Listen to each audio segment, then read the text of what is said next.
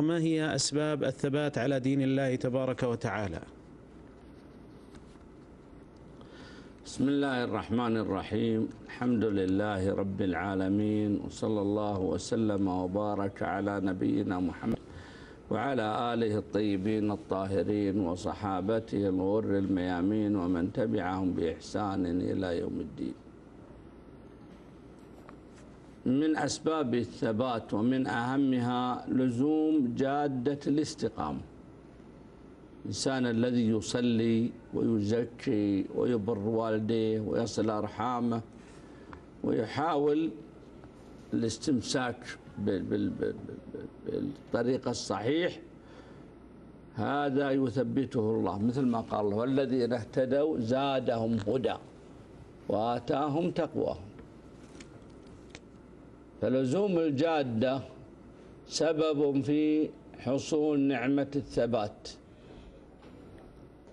والزيغ إذا ابتعد الإنسان عن الجادة زاغ قلبه وابتعد عن الحق. فلما زاغوا أزاغ الله قلوبهم. أزاغ الله قلوبهم. الأمر الثاني الدعاء وهو قسمان. الدعاء بالثبات ومنه هذا الدعاء الذي نكرره في كل ركعة اهدينا الصراط المستقيم. يعني ثبتنا عليه لأن اللي يصلي الحمد لله على الصراط المستقيم لكن يريد الثبات عليه. اهدنا الصراط المستقيم أي ثبتنا عليه. ومن الأدعية ما ورد عن النبي صلى الله عليه وسلم اللهم يا ولي الإسلام وأهله مسكني الإسلام حتى ألقاك به.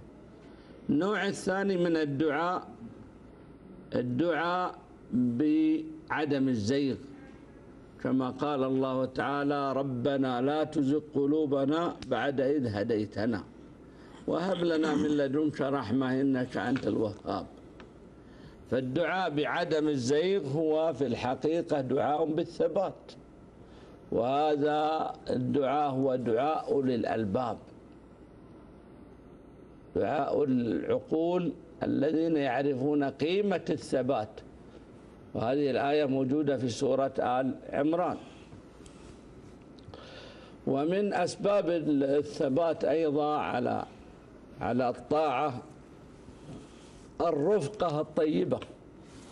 الله قال لرسوله صلى الله عليه وسلم واصبر نفسك مع الذين يدعون ربهم بالغداة والعشي يريدون وجهه. وجهه ولا تعد عيناك عنهم تريد زينة الحياة الدنيا. ولا تطع من أغفلنا قلبه عن ذكرنا واتبع هواه وكان أمره فرطا. فالرفقة الطيبة يعينونك إذا آه، احتجت ويبصرونك إذا جهلت. وينشطونك إذا كسلت.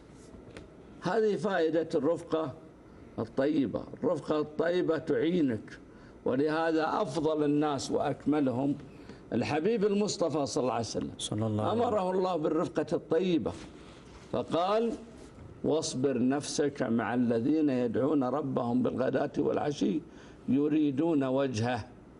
فالإنسان إذا لزم الطاعة وأكثر الدعاء وأدرك الرفقة الطيبة وشد يده بها وابتعد عن الرفقة السيئة. رفقة السيئة هم الذين يضلون الناس. انظر إلى أبي طالب كاد أن يسلم. جميل. لما جاء النبي صلى الله عليه وسلم في في آه، ساعة حضرة الموت. فقال له النبي صلى الله عليه وسلم يا عم قل لا إله إلا الله كلمة أحاج لك بها عند الله. ماذا قال؟ كان أبو جهل عبد الله بن أمية قريبا منه. قالوا أترغب عن ملة عبد المطلب؟ فقال هو على ملة عبد المطلب فكانت نهايته سيئة. نعم.